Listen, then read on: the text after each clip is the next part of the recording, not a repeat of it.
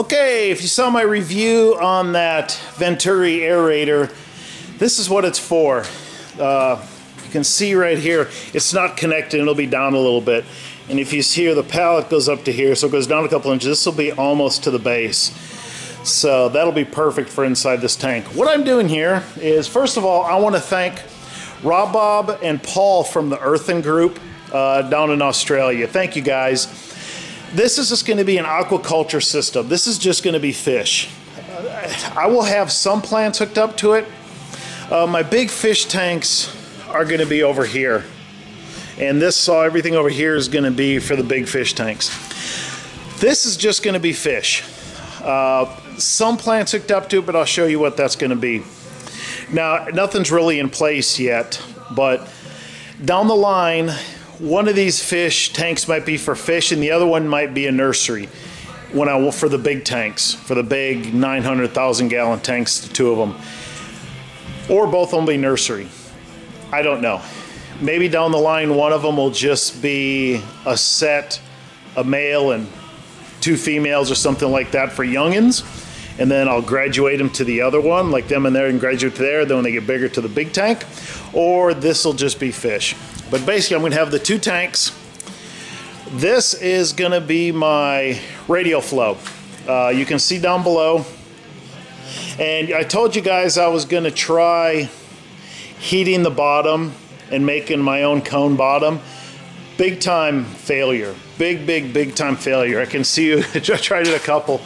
You can see it out there. I tried real slow heat and a hotter heat. There's a seam in the bottom of every one. It doesn't look like there's a seam, but there's a seam. As soon as you heat it up and you touch the bottom, the seam just comes apart. So what I did is I put a bulkhead fitting on the bottom right here, and it's only coming up about a millimeter and a half from the bottom. So that'll be pretty good, and it's on the lowest point here in here because when I want to drain the solids out later, that'll get almost everything out instead of having them come from the side. But it'll just be a regular radial flow. Here is no pipes or anything in here yet. Here's the bucket and here's the lid. Now, this worked perfect. This is an old trash can lid I had. You could not ask for a better. It was like, looks like it was made for this. I mean, it fits perfect upside down and uh, you can see the bucket just I cut around here and slid it right in and you'll see them coming up here. I am doing a radial flow. I've did everything.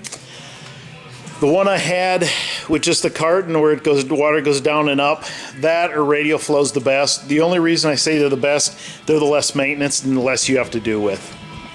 But the fish tanks will go in to this which will be right here and then from right here, it's gonna go to another one I don't have done here, which is gonna be my biofilter, over to here, which is my sump.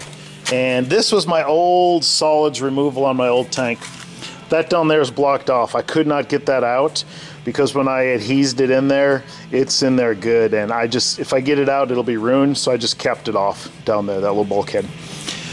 But it'll come from the bio into the sump right here. And the sump you can tell I buried down about halfway down inside the dirt. And then it'll pump back to fish tanks. The fish tanks aren't 100% wrapped yet in this reflective material. If you're looking for something to cover your tanks, this is great. Get this at uh, Home Depot or Lowe's or wherever you're at. It's uh, This is in the same aisle as Radiant Barrier. That's what it's used for and I don't have the back done because that's where all the plumbing's going to be but I got the front done. But this is just kind of a sneak peek at what everything is doing uh, from our aquaculture system. This system will be right here. What I'm gonna have is right here I'm gonna have some strawberries and some towers on gravity. And over here I'll have some Dutch buckets with some cucumbers and tomatoes. Those will feed off this system here. They're just feeding off this system here because I have this here that's it. But this is more or less just an aquaculture system, but since I'll have the pump and everything like that, I'll just plumb it down and then it'll gravity on back. So that's that's basically with this aquaculture system. I'll just have a few plants hooked up to it. So that's it. This is just a sneak peek of what I'm building and everything like that. You can kind of see where it's at to the one I built right here. That's up and going and it's working flawless. Did add some shade cloth up there though to help out a little bit. So that's it. I hope everybody enjoys this and we will have another video here when we're coming up.